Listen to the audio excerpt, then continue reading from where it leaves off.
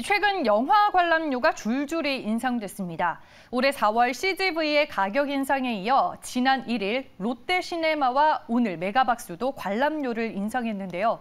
이 오른 가격에 대한 소비자들의 반응을 윤영섭 기자가 살펴봤습니다. 메가박스와 롯데시네마의 영화 관람료가 이번 달부터 1,000원 인상됐습니다. 이로써 영화관 3사 모두 주말 2D 영화 기준 관람료 15,000원입니다. 특별관의 경우 2,000원에서 5,000원 올라 인상폭은 더욱 큽니다. 코로나19 기간 동안 세 번째 가격 인상으로 비싸진 영화 관람료에 소비자들의 지적이 이어졌습니다.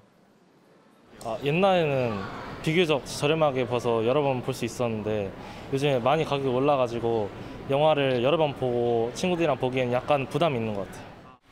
평일이 14,000원이고 주말이 15,000원이면은 거의 식사하는 금액이 맞먹거든요. 근데 이제 영화만 보는 건데 그 정도 금액이면은 솔직히 조금 높지 않나. 그 OTT 쪽이 경제적이라고 생각은 해요.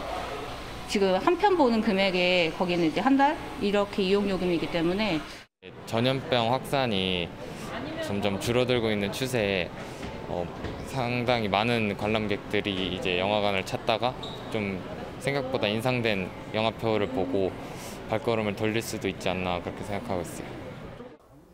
소비자들은 넷플릭스 등 OTT 한 달 구독료를 감안하면 영화 관람료가 상대적으로 더 비싸게 느껴진다고 입을 모았습니다. 또 물가 상승률을 감안해도 영화 관람료 인상폭이 과중하다는 지적도 있습니다. 영화진흥위원회에 따르면 2021년 한국 극장 요금은 2020년에 비해 12.3% 상승했습니다.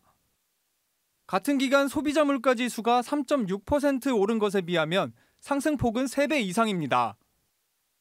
영화관 측은 코로나19 기간 적자 운영으로 인한 경영 악화나 물류비, 임차료 등 고정비 증가를 가격 인상의 배경이라고 밝혔습니다.